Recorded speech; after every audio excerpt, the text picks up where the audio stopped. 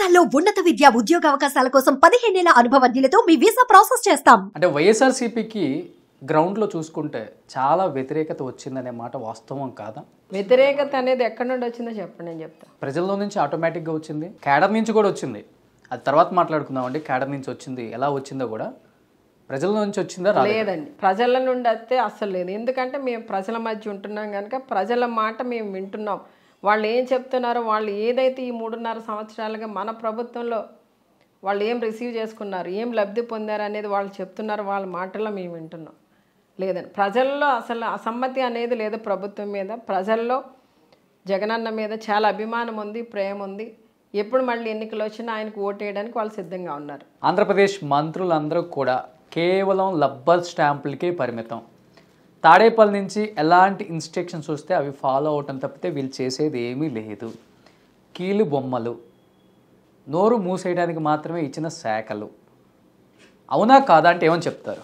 నోరెత్తకుండా చేయడానికి అంటే మీరు మీరు చెప్పిన నోరెత్తకుండా చేయడానికి అంటే ఇందాక మనం మాట్లాడుకున్నామండి కొంతమంది గురించి. వాళ్ళు పదవులు ఆశించిన వాళ్ళు. వాళ్ళకి పదవులు ఇవ్వకపోతే నోరెత్తుతారని కూడా తెలుసు ముఖ్యమంత్రి గారికి. మరి వాళ్ళకి ఇవ్వలేదే పదవులు? వాళ్ళకి పదవులు ఇవ్వలేదు కదా. వాళ్ళ నోరు ముయ్యించాలంటే పదవులు ఇస్తే సరిపోతుంది కదండి. మరి మేమేమి ఏ రోజున అడగలేదే మాకు ఈ పదవులు కావాలని.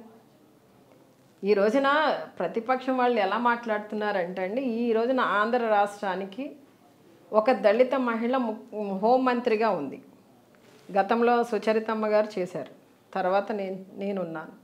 ఈ రోజున హోంమంత్రిగా ఒక దళిత మహిళ ఉంది అంటే వాళ్ళు ఓర్చుకోలేరు. ఎందుకు ఓర్చుకోలేరు అంటే వాళ్ళు చేయలేదు కనుక ఈ పని. ఎప్పుడు కూడా దళితుల్ని ఈ ఈ స్థానంలో కల్పించలేదు వాళ్ళకి. ఈ రోజున ముఖ్యమంత్రి గారు మా జగనన్న మాకు ఈ స్థానం ఇచ్చి ఈ గౌరవాన్ని ఇచ్చి మమ్మల్ని ఈ స్థానంలో నిలబెడుతుంటే తట్టుకోలేక వాళ్ళు ఏమంటారంటే మీరు అన్నట్టు స్టాంప్స్ అంటారు. సుచరిత గారికి మీకు చాలా దూరం పెరిగింది. అనే మాట వాస్తవం మాకెందుకు దూరం పెరుగుద్దండి? మేమిద్దరం మంచి ఫ్రెండ్స్ నేను పదవి తీసుకున్న కొద్ది రోజులకి నేను సుచరితమ్మ గారి ఇంటికి వెళ్ళాను. మరి మీకు ఆ న్యూస్ వచ్చిందో లేదో నాకు తెలియదు యా చూశాను. మేము కొద్దిసేపు మాట్లాడుకున్నాం. అంటే ఆమె కూడా పార్టీ మారుతున్నారని మధ్యలో న్యూస్ వచ్చింది కదా మేడం. లేదు అలాంటి ఏమి లేవు. అందుకే వంత గారిని అక్కడ అక్కడికి పంపడం జరిగింది ఒక ఓదార్పుకి ఒక బుజ్జగింపుకి. సుచరితమ్మ గారిని కలిసింది నేను ఇప్పుడు వెరీ స్టార్టింగ్ నేను రెండో క్యాబినెట్లో ప్రమాణ స్వీకారం చేసిన ఒక వన్ మంత్ లోపల కలిశాను. మీరు చెప్పిన పార్టీ చేంజింగ్స్ అనేవి ఈ మధ్య వినిపిస్తున్నాయి. ఈ మధ్య కాలంలో నేను ఎటువంటి రాయబారానికి వెళ్ళలేదు. సుచరిత సుచరితమ్మ గారు ఏ పార్టీ కూడా మారరు. మన మా పార్టీలోనే ఉంటారు. మాతోనే ట్రావెల్ చేస్తారు. జగన్ అన్నతోనే ఉంటారు. జగన్ గారితో ఇన్ని ఇయర్స్ నుంచి ట్రావెల్ చేస్తున్నారు కాబట్టి వ్యక్తిగతంగా మీకు బాగా తెలిసి ఉంటుంది ఆయన గురించి. ఈ మధ్యకాలంలో ఎక్కువగా వినిపిస్తుంది మేడం ఫ్యామిలీ మ్యాటర్ కూడా. జగన్ గారికి షర్మిల గారికి మధ్య దూరం పెరిగింది. తారా స్థాయికి వెళ్ళిపోయింది. ఫ్యూచర్లో ప్రతిపక్షాలు కూడా షర్మిల గారిని ఒక బాణంలాగా వదలొచ్చు ఆంధ్రప్రదేశ్లో అని ఎక్కువగా వినిపిస్తుంది అక్కడ ఇక్కడ. మీరేమనుకుంటున్నారు? అండ్ పార్టీలో ఏమనిపిస్తుంది అది? ఏమో తెలియదండి నాకు తెలిసైతే ఉన్నాయని నేను అనుకోవట్లేదు. అంటే బయట అంటే షర్మిలమ్మ గారు తెలంగాణకి వెళ్ళారు కనుక ఇప్పుడు అక్కడ వెళ్ళి అక్కడ పార్టీ పెట్టి ఆవిడ వర్క్ ఆవిడ చేసుకుంటున్నారు. ఇక్కడ ఆంధ్ర రాష్ట్రంలో సీఎం జగనన్న సీఎంగా ఉన్నారు. ష మన షర్మిలమ్మ గారికి నేను అండగా ఉండాలి అందుకే నేను వెళ్తున్నానని విజయమ్మ గారు ప్లేనరీలో ఓపెన్గా డయాస్ మీద చెప్పారు. చెప్పిన తర్వాత చెప్పిన తర్వాత చెప్పక ముందు కూడా ఎప్పుడు కూడా ప్రతిపక్షాలు ఏం మాట్లాడాయి జగన్ అన్న విషయంలో? తల్లిని చెల్లిని దూరం పెట్టేశారు బయటికి పంపించేశారు. ఎందుకు పంపిస్తారని ఇంట్లో సభ్యుల్ని?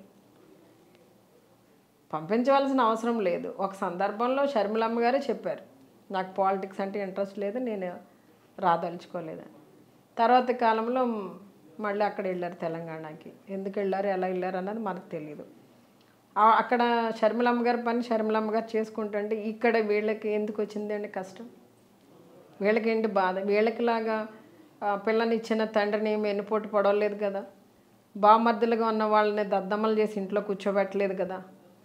వీళ్ళకిలాగా ప్రతి దానికి కూడా అంటే యూజ్ అండ్ త్రూ. ఆ సిస్టమ్ అయితే ఎక్కడ జగనన్న ఏం చేయలేదు కదా? వీళ్ళకి ముందు వీళ్ళ హిస్టరీ మాట్లాడుకోమానండి. మాట్లాడితే తల్లిని చెల్లిని అంటూ ఉంటారు. అది కరెక్ట్ కాదండి. ముందు మీరు కరెక్ట్గా ఉండి తర్వాత ఎవరినైనా బ్లేమ్ చేయండి. లాస్ట్ అండ్ ఫైనల్గా మీ ముఖ్యమంత్రి గారు నూట డెబ్బై ఐదుకి నూట డెబ్బై ఐదు గెలుస్తామని ఖచ్చితంగా చెప్తున్నారు. మీరు నూట డెబ్బై ఐదుకి ఎన్ని వస్తాయి అనుకుంటున్నారు మీరు? ఇప్పుడు ఒక ఎగ్జామ్కి ప్రిపేర్ అవుతున్న పిల్లగాడు ఎలా చదువుతాడు? మొత్తం వంద వంద మార్కులకి మనం ప్రశ్నలు అక్కడ రాసి ఆన్సర్లు రాసి రావాలి. వంద మార్కులకి క్వశ్చన్ క్వశ్చన్స్ ఉంటాయి అక్కడ. వంద మార్కులకి ఆన్సర్ చెయ్యాలి. అన్నట్టుగానే ప్రిపేర్ అవుతాడండి డెబ్బయో ఎనభయో వస్తాయి. వచ్చేది తర్వాత రిజల్ట్ ముందు చెప్పేది వినండి. అడిగారు కదా. ఓకే. ఇప్పుడు మనం ప్రిపరేషన్ ఎలా ఉంటుంది? ఎగ్జామ్కి వెళ్తాము. ఎగ్జామ్కి వెళ్ళినప్పుడు అక్కడ క్వశ్చన్ పేపర్స్లో క్వశ్చన్స్ ఒక హండ్రెడ్కి ఉంటాయి. ఆన్సర్స్ హండ్రెడ్కి మనం అటెంప్ట్ చేయాలన్నట్టుగానే మన ప్రిపరేషన్ ఉంటుంది. ఈ రోజున కూడా ముఖ్యమంత్రి గారు మనము ఇంత మంచి చేసాము కదా ప్రజలకి.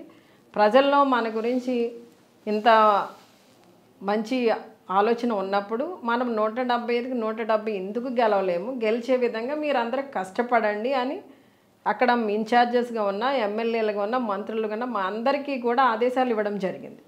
ఇచ్చిన ఆదేశాల ప్రకారం మేము ఈ రోజున ప్రతి ఒక్కరూ ప్ర ఎవరి వాళ్ళ నియోజకవర్గంలో డోర్ టు డోర్ వెళ్తూ కష్టపడి పనిచేస్తున్న ప్రజల్లో మమేకం అవుతున్నాం. ఈ రోజున ప్రతిపక్షం కన్నా ముందు ప్రభుత్వమే వెళ్తుందండి ప్రజల్లోకి. ఇంతవరకు ప్రతిపక్షం అనేది లోకేష్ గారు. వచ్చారు కదా? ఎవరు వచ్చారండి లోకేష్ గారు నిన్న మొన్న అండి. మేము ఎప్పటి నుండి తిరుగుతున్నాం? మేము ఎన్ని నెలల నుండి కష్టపడుతున్నాం? ప్రజా అక్కడే ప్రజల్లోకి వెళ్ళి ప్రజా సమస్యలను తెలుసుకుని పరిష్కరిస్తున్నామండి.